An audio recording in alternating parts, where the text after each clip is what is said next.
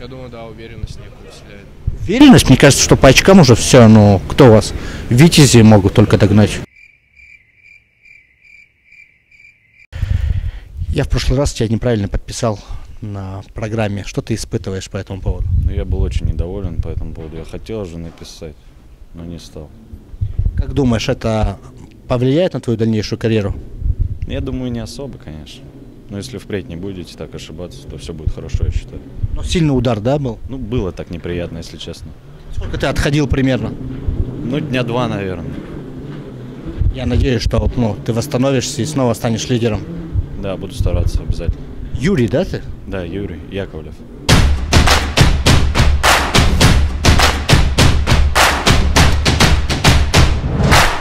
Привет! Ну что же, ошибся, бывает. Если уж СКА-1946 признает ошибку с назначением тренера, то мне-то куда? Но Петр так и не восстановился после этой неудачи. Вы видели вторую игру «Динамо Санкт-Петербург» против Крылья Советов? 3-7. Это был кошмар.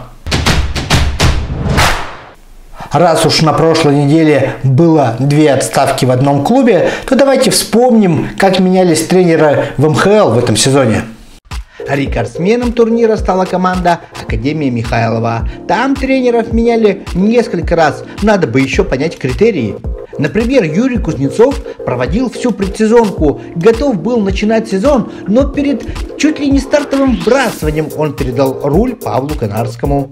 Бывший форвард Крылья Советов работал неплохо. Я не знаю, на что там рассчитывали в Туле, но по итогам 14 матчей претензий к специалисту было минимум.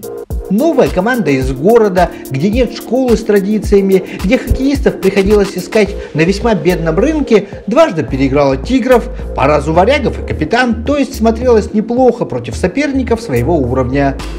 Но Канарского заменил Алексей Первушин и начался кошмар.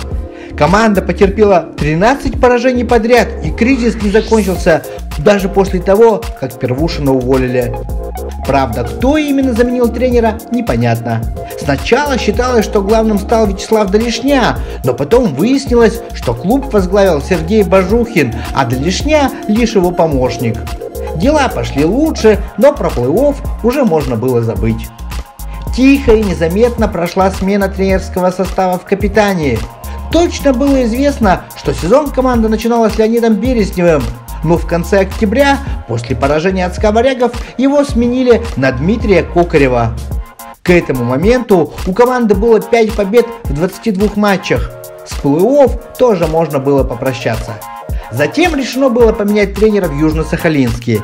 Виктор Чечель внезапно перестал выходить на послематчевые комментарии. Там появлялся тренер вратарей, а в клубе тщательно скрывали, что произошла замена, словно в этом было что-то страшное.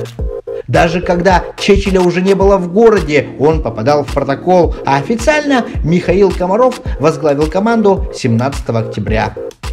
Про СКА 1946 мы уже сказали, но странная ситуация была в Ярославле. Александр Ардашев в некоторых матчах на скамейке отсутствовал, но Игорь Меляков был лишь исполняющим обязанности. На Востоке в октябре зачем-то поменяли Алексея Каледаева из Кузнецких Медведей, хотя с командой все было понятно изначально. Такое ощущение, что молодежка в городе никому и не нужна, там с клубом ВХЛ разобраться не могут. Константин Турукин, взяв команду с одной победой, завершает сезон с шестью. В Тольятти довольно быстро поняли, что ошиблись тренером. Олегом Ларионовым итальятинский клуб возглавил Филипп Метлюк. Но время было упущено, и хотя команда очень старалась, решить задачу выхода в плей-офф не получилось. После домашнего поражения от Толпара поменяли тренера в Магнитогорске, но говорят, что Евгений Мухин уже последние пару недель лишь зарабатывал. 2 декабря его заменил Денис Платонов. Команда сейчас бьется за место в плей-офф. Но снова вернемся на запад. Поменялся тренер и в Сковорягах. Дмитрия Вершинина перевели в СКА-1946, а самых молодых питерцев повел за собой Евгений Пастернацкий. Я смотрю, вот вы возглавили команду, были одержаны несколько вот таких хороших побед. Что надо изменить вот сейчас в команде, которая уже точно не попадает в плей-офф и играет молодым составом? Ну, по, по игре, по, по, это, поправки по игре только, да, нюансы там, в принципе, направление не меняем в целом, да, то есть атакующий хоккей и никаких изменений таких глобальных нет, просто нюансы там где-то в обороне построже и в атаке тоже там есть свои нюансы, которые ребята в принципе услышали и выполняют. Творчество разрешается, да, вам? Обязательно, обязательно, особенно в атаке, в защите в меньшей степени, скажем так, в атаке, да. Тяжело ли собирать ребят, которые уже знают, что сезон в феврале скоро закончится уж? Да нет, текущая работа, ребята все с пониманием относятся, то есть э, исправляют ошибки свои, то есть работа такая текущая, скажем так. А вы когда вот начали менять, ну пришли э, на должность, надо было что-то менять или э, нужно было просто продолжить то, что сделано? Только нюансы, там все, все то же самое, атакующий хоккей, да, там, ну, опять же, как соперник позволяет, там уже подстраиваемся под соперника, разбираем и действуем уже по ситуации, скажем так. Считается, что, ну, да и не считается, а правда, Сковаряги, это потом идут СКА-46, и здесь играют ребята, которые еще не, про, не пробились в первую молодежную команду. Много ли здесь талантов? Здесь потому что ее начинали и Аскаров, да многие, кого можно вспомнить. Нет, таланты есть, ребята способные, даже я могу сказать, что все способные, просто... Видите, двух. Двух, двух звезд сейчас вся команда выиграла, не могу никого отметить, как бы всю команду в, в целом, как бы, да, вперед. Это же ваш первый опыт главным тренером? А, до этого работал в СКА Гор Карелия.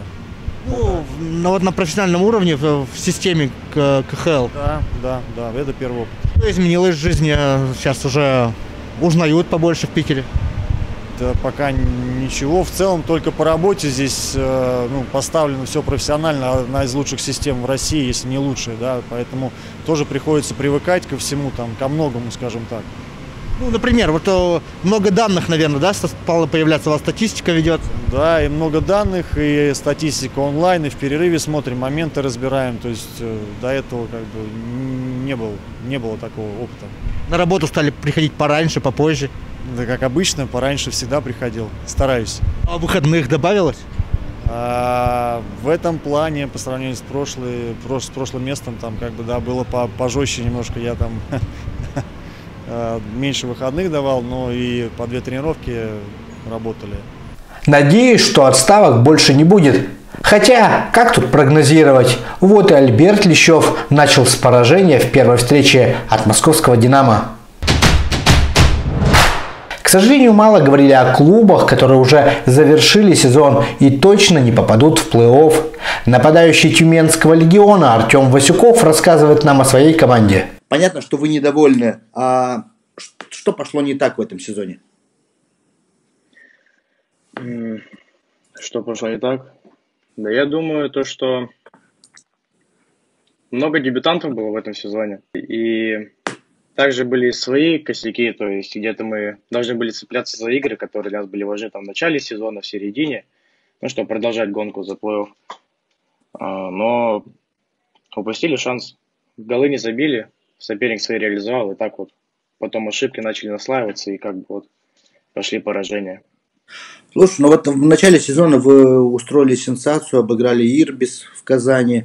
Можно было бы зацепиться за этот результат, и ну вот как-то не смогли зацепиться. Почему? Ну да, мы после этой победы как бы сами уже начали верить в себя, то, что можем выиграть команды. Но потом уже так, вроде продолжали где-то там выигрывать, проигрывать, то есть раз через раз. И потом уже пошли такие вот длительные серии, то есть наш, наше поражение против того же Ирбиса, Чайки, Спутника. И уже после этого как бы уже начало немножко подавлять вот это. Что творилось в раздевалке? Как относились э, в команде внутри вот к этим неудачам? Это раздражало? Были какие-то скандалы или спокойно относились, все понимали? Ну, как таковых скандалов-то не было. Но единственное то, что все ребята были недовольны этим.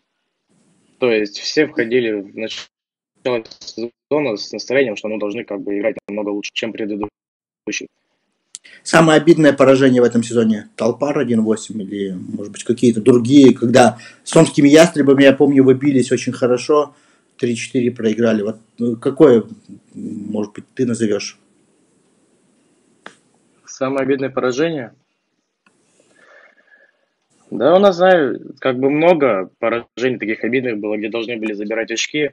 То есть, и вот прошедшие игры сибирскими снайперами должны были забирать у них очки. И До этого в середине сезона тоже цеплялись со всеми командами, но где-то не получалось. А так самое обидное вот были вот с Толпаром 1-8, где вот когда, ну, то есть счет был такой разгромный, можно сказать. Все прошли этот ковидный период. Как, как у вас он сказался, как на вас сказался? Ну вот как раз вот эта вот э, ситуация с Толпаром и с, авто, и с авто, э, то есть получилось так, то, что команда приехала, уже билеты купила на, на игры, все, они приехали, а у нас э, вся команда слегла.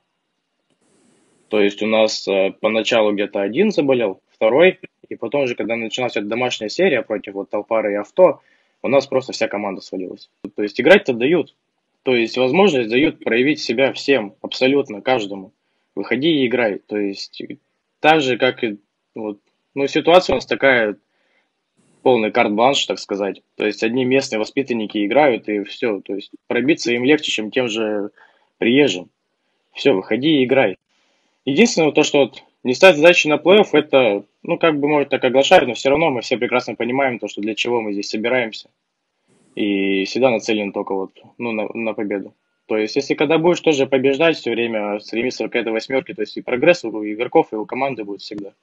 Ну, у тебя в этом году минус 23. В прошлом году было минус 33. Сможешь догнать-то за оставшиеся матчи? Да я постараюсь наоборот хотя бы за двадцатку уйти за минус 20. Ну, тоже как бы это вот минус 23, это тоже не показатель. То есть тоже мне за это и тренера как бы замечанием много раз делали, и вот, проводили беседы за это, тоже где-то там на игры спускали. И там было дело. Ну, как бы я это все прекрасно понимаю, то есть что и почему. То есть, ну, не должна быть такая статистика. Минус 23. Очень холодно. Надеюсь, до 30 не дойдет. А Егор Гуськов не пропускал в этом сезоне в 13 матчах. Вратарь Лока установил рекорд молодежной хоккейной лиги. Ну какой же он молодец. В маску тебе попадали в этом году несколько раз как-нибудь? Сильно? Сегодня только три раза на игру попали. Гудит? А? Голова да нет, гудит? нет, нет. Сейчас шлема такие, что уже практически не гудит. Раньше гудело, да, сильно. Там просто какое-то оборудование, да, что вообще не, ну, гасит удар. Ну, сейчас, да, там специально уже пена такая стоит, что уже в ушах особо не звенит. А дрался ли ты на льду? Были ли у тебя возможности подраться? Нет, э, я об этом не думаю, я сконцентрирован только на своей игре и уже отталкиваюсь от своего плана на игру. Ну, в том смысле, что было вот такое, что тебя провоцировали чем-то. Да, конечно, провоцируют э, игроки по разным спос... разными способами, там могут кто-то в лицо затормозить, может кто-то подтолкнуть, что-то сказать. Но я стараюсь об этом не думать, не обращать на это внимания, просто там улыбнулся в лицо и все. И... Ну, можешь вспомнить самое смешное оскорбление, которое тебя там пытались вывести как-то? Нет, наверное, не вспомню. Это по детству, наверное, было. Но сейчас такого нету, но... Ну, это очень редко, там уже прям но меня, меня сложно вывести из себя на самом деле. Но мы будем пытаться. Если не получится, то значит Егор далеко пойдет. На этом я прощаюсь с вами, встретимся совсем скоро и будем внимательно следить за разборками за место в плей-офф. До свидания.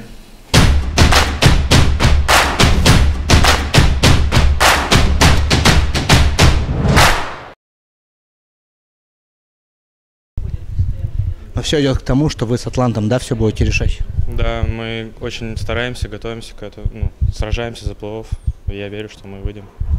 Оскорби как-нибудь игроков Атланта, чтобы поддать перцу для противостояния. Ну, я за честную игру, не буду их оскорблять. Э, мы решим все на поле.